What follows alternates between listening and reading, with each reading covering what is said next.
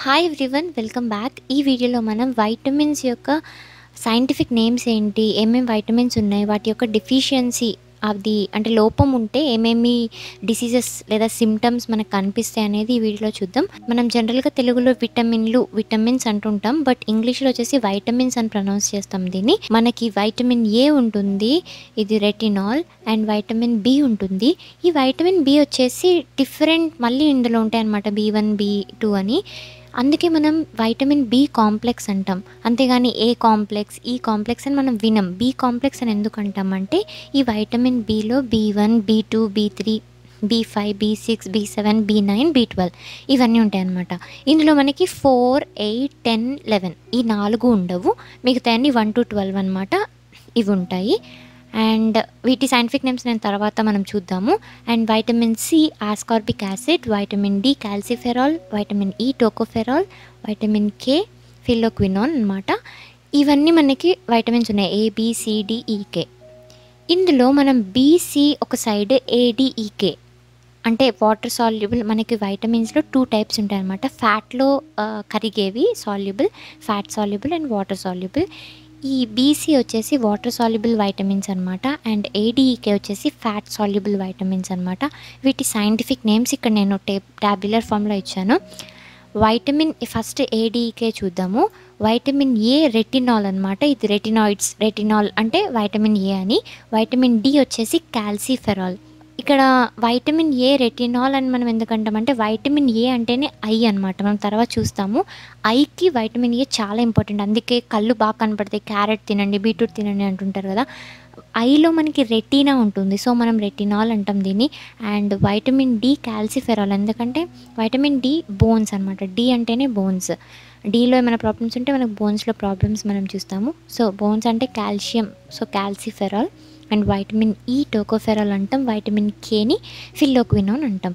అంటే వీటి scientific names అనమాట జనరల్గా మనం vitamin A D K e, అంటాం బట్ సైంటిఫికల్గా మనం మాట్లాడుకునేటప్పుడు మెడికల్ టర్మ్స్లో ఈవెన్ మీరు వైటమిన్ డి ట్యాబ్లెట్స్ మీద చూడండి వెనకాల కాల్సిఫెరాల్ అని రాసి ఉంటుంది. ఈవెన్ ఏదైతే అది ఆ నేమ్ రాసి ఉంటుంది. అండ్ వాటర్ సాల్యుబుల్ వైటమిన్స్ వచ్చేసి బిఎన్సి బీ వన్ని థయమిన్ అంటాం బీ టూని రైబోఫ్లేవిన్ అంటాం బీ త్రీని నయాసిన్ అంటాం బీ ఫైవ్ని ప్యాంటోథినిక్ యాసిడ్ అంటాం బీ సిక్స్ని విరిడాక్సిన్ అంటాం బీ సెవెన్ని బయోటిన్ అంటాం. ఇది హెయిర్ ప్రోటీన్ అనమాట బయోటిన్ తక్కువ ఉంటే హెయిర్ ఫాల్ అవుతుంది అంటారు కదా. సో బీ సెవెన్ ఇది biotin and B nine folic acid B twelve cobalamin and vitamin C వచ్చేసి ఆస్కార్బిక్ యాసిడ్. ఇప్పుడు ఈ డెఫిషియన్సీ సిమ్టమ్స్ మనం చూద్దాం. ఫస్ట్ ఫ్యాట్ సాల్యుబుల్ చూద్దాం. ఎందుకంటే తక్కువ ఉన్నాయి ఏడీకే ఉన్నాయి కాబట్టి. ఇందులో వైటమిన్ ఏ తక్కువ ఉంటే మనకి నైట్ బ్లైండ్నెస్ ఉంటుంది. అంటే నేను ఇక్కడ టిపికల్వి ఇస్తున్నాను ఈ ట్యాబ్యులర్ ఫామ్లో అంటే వైటమిన్ ఏ ఉంటే నైట్ బ్లైండ్నెస్ ఒక్కటే ఉంటుందని కాదు. డ్రై ఐస్ కనిపిస్తాయి మనకి. అంటే ఐ రిలేటెడ్ ప్రాబ్లమ్స్ని మనం ఎక్కువ చూస్తాం వైటమిన్ ఏలో బట్ టిపికల్గా నైట్ బ్లైండ్నెస్ అని అంటే వెంటనే vitamin A deficiency night blindness అనమాట సో ఇట్లా అండ్ బిటాట్ స్పాట్స్ అంటాం అనమాట అంటే ఇక్కడ తెల్లగా కనిపిస్తుంది కదా ఒక ప్యాచ్ లాగా ఫామ్ అవుతా ఉంటే ఇక్కడ తక్కువ ఉంది. కానీ కొన్ని కొన్ని కేసెస్లో మనకి ఇంకా పెద్దగా ఫామ్ అవుతాయి అనమాట సో వైటమిన్ ఏ డెఫిషియన్సీ వస్తే ఇట్లా ఐ రిలేటెడ్ ఐ అంటే retina retinol so vitamin A అంటే ఐ గుర్తురావాలి వెంటనే. సో ఇది. అండ్ వైటమిన్ డి వచ్చేసి కాల్సిఫెరాల్ ఇది డెఫిషియెంట్ అయితే మనం చిన్న పిల్లల్లో ఎక్కువగా రికెట్స్ చూస్తాము. అండ్ పెరిగే కొద్దీ మనం ఆస్ట్రియోపోరసిస్ చూస్తాము. బట్ కామన్గా వైటమిన్ డి డెఫిషియన్సీ అంటే రికెట్స్ ఆస్ట్రియోమలాషియా ఆస్ట్రియోపోరసిస్ అంటాము. రికెట్స్ అంటే మీరు చూసే ఉంటారు. ఇట్లా అంటే డిఫార్మిటీస్ అనమాట బోన్ డిఫార్మిటీస్ ఎక్కువ చిల్డ్రన్లో మనకి వైటమిన్ డి లోపం వల్ల కనిపిస్తూ ఉంటాయి. అండ్ ఆస్టియో మలేషియా వచ్చేసి బోన్లో మనకి కాల్షియం ఎక్కువ ఉంటుంది అంటే మినరల్స్ ఉంటాయి. అందులో కాల్షియం కూడా ఉంటుంది. ఇన్ఆర్గానిక్ సాల్ట్స్ కూడా ఉంటాయి. ఇన్ ఆస్ట్రియో మలేషియాలో ఏంటంటే మినరల్ కంటెంట్ అనేది డీమినర అంటే డీమినరలైజేషన్ అనేది జరుగుతుంది. ఆస్టియోపోరోసిస్ వచ్చేసి బోన్ యొక్క బల్క్ అంటే బో ఇప్పుడు ఇక్కడ చూసారా? Pores porosis. ఇక్కడ ఇది నార్మల్ బోన్ ఇదేమో ఆస్టియోపోరసిస్ జరిగిన బోన్ అనమాట సో బోన్కి ఏదైతే బల్క్ ఉంటుందో అది లాస్ అయిపోతూ ఉంటుందన్నమాట. సో అంటే ఇప్పుడు నేను ఇక్కడ టిపికల్ సిమ్టమ్స్ టిపికల్ డిసీజెస్ మాత్రమే పెట్టానని చెప్తున్నాను. అంటే ఇప్పుడు ఏ అంటే నైట్ బ్లైండ్ బ్లైండ్నెస్ అనే కాదు ఐ సిమ్టమ్స్ ఉంటాయి. అలాగే డి అంటే కూడా ఇవి మనం టిపికల్గా చెప్పుకుంటాం. బట్ ఒక్క వైటమిన్ లోపం వస్తే ఎంటైర్ బాడీ మీద డిఫరెంట్ డిఫరెంట్గా ఎఫెక్ట్ చూపించవచ్చు. ఫర్ ఎగ్జాంపుల్ ఈ వైటమిన్ డి తక్కువైతే హార్ట్ హార్ట్కి కూడా వైటమిన్ డి చాలా important vitamin D heart pain అంటే చెస్ట్ పెయిన్ రావడం ఇట్లాంటివి కూడా జరుగుతూ ఉంటాయి. వైటమిన్ డి సీరంలో వైటమిన్ డి చాలా తక్కువ ఉంటే హెయిర్ ఫాల్ కూడా డిప్రెషన్ సిమ్టమ్స్ ఇట్లాంటివన్నీ జరుగుతూ ఉంటాయి. సో టిపికల్గా ఇవన్నమాట. బట్ మనకి రిలేటెడ్గా బాడీలో ఆ ఎఫెక్ట్స్ అనేవి ఉంటాయన్నమాట. అండ్ వైటమిన్ ఈ టోకోఫెరల్ వచ్చేసి దీ ఇది డెఫిషియెంట్గా ఉంటే మోస్ట్లీ ఇన్ఫెర్టిలిటీ అంటే స్టెరైల్ ఉంటారనమాట ఫెర్టిలిటీ ప్రాబ్లమ్స్ వస్తాయి రిప్రొడక్షన్లో అట్లా. అదే మేల్ అంటే మనం ఇంపార్టెంట్ అంటాము ఇంపార్టెన్సీ అంటాము. అండ్ వైటమిన్ కే ఫిల్లోక్వినాన్ అనమాట దీని డెఫిషియన్సీ వల్ల డిలే ఇన్ బ్లడ్ క్లాటింగ్. మన బాడీలో ఇప్పుడు సపోజ్ మనకి ఒక చిన్న దెబ్బ తాకింది. ఎక్కడైనా ఒక చాక్తో కోసుకున్నాము లేదా ఇంకేదైనా అయ్యింది. బ్లడ్ వస్తుంది కదా. బ్లడ్ అనేది అంటే మనకు అక్కడ ఇది ఇది టిపికల్ బ్లడ్ క్లాటింగ్ మెకానిజం అనమాట అంటే ఇప్పుడు వెజల్ మన చేతికి కానీ ఎక్కడైనా ఒక వెజల్ వాల్ అనేది ఎండోథీలియం అని ఎండోథీలియం అంటాం వెజల్ వాల్ని ఇది డ్యామేజ్ అయినప్పుడు ఏంటంటే ఇది ఈ ఎన్విరాన్మెంట్ ఎక్స్టర్నల్ ఎన్విరాన్మెంట్ ఇక్కడ నుంచి బ్లడ్ అంతా ఫ్లో అయిపోతూ ఉంటుంది బయటకు వచ్చేస్తూ ఉంటుంది as we see in this image అప్పుడు ఏంటంటే ఒక ఇంటర్నల్ మెకానిజం జరుగుతుంది. తొందరగా ఆర్బి అంటే ప్లేట్లెట్స్ అన్ని రిక్రూట్ రిక్రూట్ అవుతాయి అక్కడికి.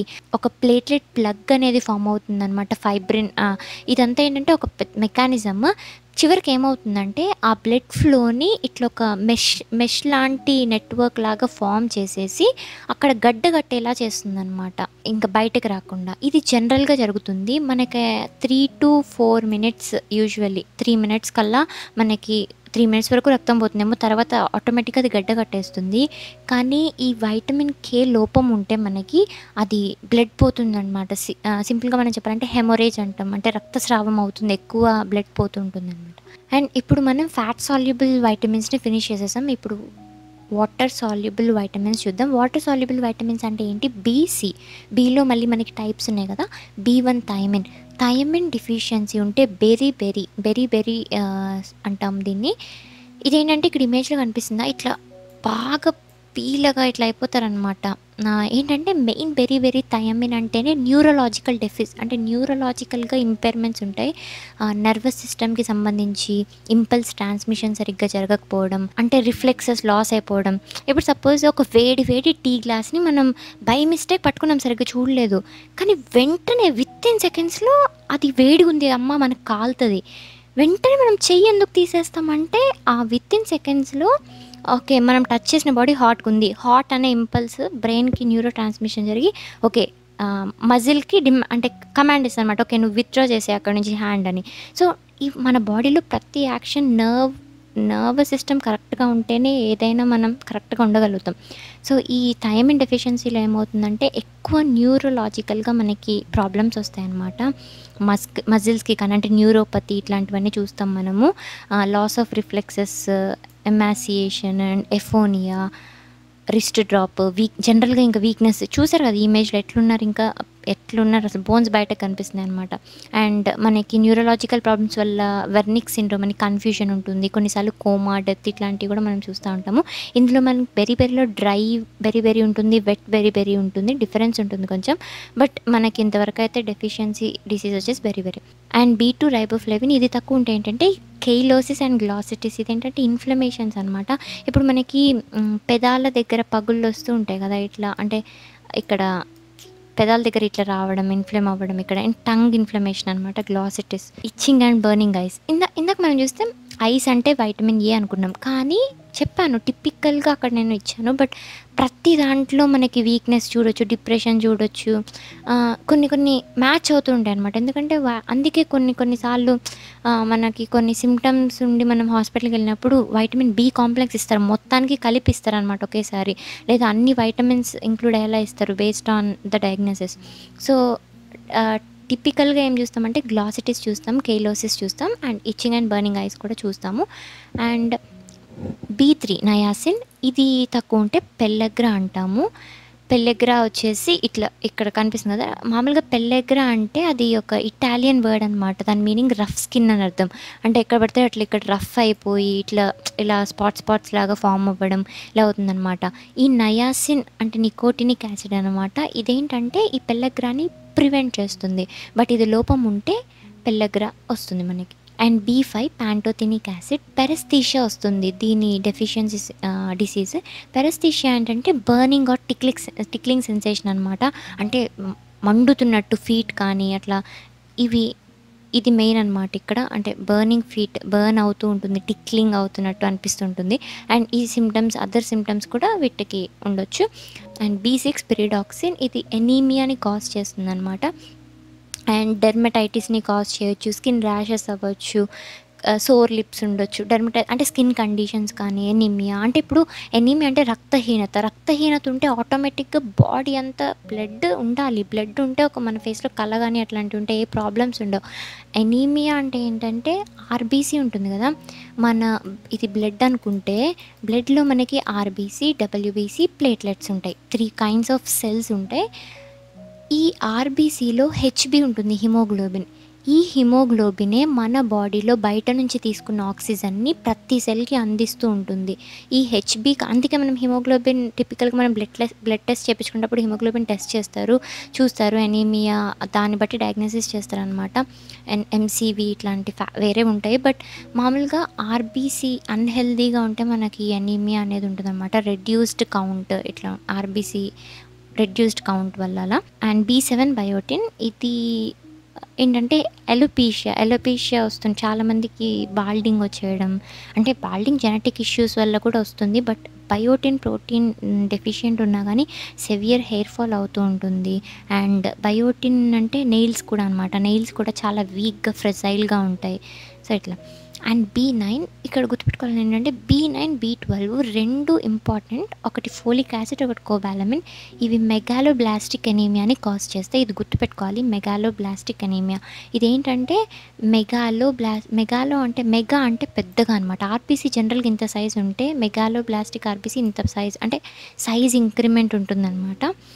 అండ్ అంటే హైపర్ సెగ్మెంటెడ్ ల్యూకోసైట్స్ న్యూట్రోఫిల్స్ని కూడా మనం చూస్తాము. అండ్ ఇంకో ఇక్కడ ఇమేజ్లో ఉంది చూడండి. నార్మల్ ఆర్బీసీ ఇలా ఉంది. కానీ మెగాలోబ్లాస్టిక్ ఎనీమియాలో ఆర్బీసీ పెద్దగా అయింది. అండ్ ఇది న్యూట్రోఫిల్ అనమాట జనరల్గా త్రీ అట్లా ఉంటాయి సెగ్మెంట్స్ అంటే లోబ్స్ బట్ హైపర్ సెగ్మెంట్ ఇంకా సెగ్మెంట్ అయిపోయి సిక్స్ అలా ఫామ్ అవ్వడం అలా చూస్తామన్నమాట.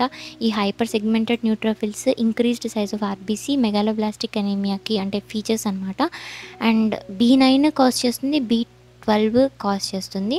అండ్ ఎనీమియాతో పాటు మనకి వేరే సిమ్టమ్స్ కూడా ఉంటాయి. ఇందులో వచ్చేసి disturb vision neuropathy swollen tongue memory malfunction అవ్వడం tinnitus palpitation balance problems anxiety లేదా depression yellow eyes shortness of breath ఇట్లా పేల్ స్కిన్ ఇది ఎనీమియా అంటేనే రక్తహీనత ఉంటేనే కొంచెం పాలిపోయినట్టు అట్లా కనిపిస్తారు కాబట్టి సో ఇది. And finally vitamin C ascorbic acid vitamin C అంటే మనకి గమ్ ఎక్కువ మౌత్ గమ్స్ ఇట్లాంటి దగ్గర అనమాట ఇక్కడ మనం చూస్తే ఇది జింజివైటిస్ అంటాం అనమాట ఇక్కడ గమ్స్ వీటి మనం గమ్స్ అంటాం. ఇక్కడ మనకి టీత్ దగ్గర ఉండేవి. ఇవి స్వాలెన్ అయిపోతాయి. అంటే ఇక్కడ ఇన్ఫ్లమేషన్ జరిగి ఉబ్బుతాయి అనమాట స్వెల్ అయిపోతాయి. వీటిని ఈ కండిషన్ జింజివైటిస్ ఐటిస్ అంటున్నామంటే ఇన్ఫ్లమేషన్ ఇన్ఫ్లమేషన్ అని అర్థం అనమాట జింజివైటిస్ అంటే జింజివా ఇన్ఫ్లేమ్ అవ్వడం. జింజివా అంటే ఏంటంటే ఈ గమ్స్ అనమాట వాటిని మనం జింజివా అంటాము. అండ్ స్కర్వీ ఇది ఈ దీన్ని మనం స్కర్వీ అంటాం. టిపికల్గా అంటే వైటమిన్ సి డిఫిషియన్సీ ఉంటే ఇట్లాంటి సిమ్టమ్స్ స్కర్వీలో మనకు కనిపిస్తాయి. అండ్ అదర్ సిమ్టమ్స్ వచ్చేసి ఫెట్టిక్ డిప్రెషన్ కనిపించవచ్చు అండ్ ఇన్ఫెక్షన్కి ఇంక్రీజ్ ససెప్టబిలిటీ అంటే ససెప్టబిలిటీ అంటే నువ్వు ఎక్కువ ప్రోన్ అనమాట ఇన్ఫెక్షన్ నీకు ఏ ఇన్ఫెక్షన్స్ అయినా నీకు ఎక్కువ వచ్చే ఛాన్స్ ఉంటుంది. అండ్ మజిల్ వీక్నెస్ ఉంటుంది. జాయింట్ అండ్ బాడీ ఏక్స్ ఉంటాయి. రఫ్ డ్రై స్కిన్ ఉంటుంది జింజివైటిస్ లూజ్ టీత్ అనమాట లూజ్ టీత్ అనేవి మనకి సిమ్టమ్ కనిపిస్తుంది. And bleeding of the skin and mucous skin కానీ మ్యూకస్ కానీ బ్లీడింగ్ అవ్వడం మనకు కనిపిస్తుంటుంది. ఇవి వైటమిన్ సి స్కర్వీ సిమ్టమ్స్ అనమాట సో ఓవర్వ్యూ చూసుకుంటే ఇదనమాట ఒక నిమిషం పాజ్ చేసుకొని అన్నీ ఒకసారి చూసేయండి. వైటమిన్ ఏ అంటే night blindness vitamin D rickets osteomalacia osteoporosis vitamin E infertility vitamin K delay in blood clotting vitamin B one beriberi B two cheilosis glossitis B three pellagra B five paresthesia B six anaemia B seven hair fall or alopecia అని hair problems dermatitis కూడా చెప్పుకోవచ్చు and B nine megaloblastic anaemia B twelve megaloblastic anaemia vitamin C scurvy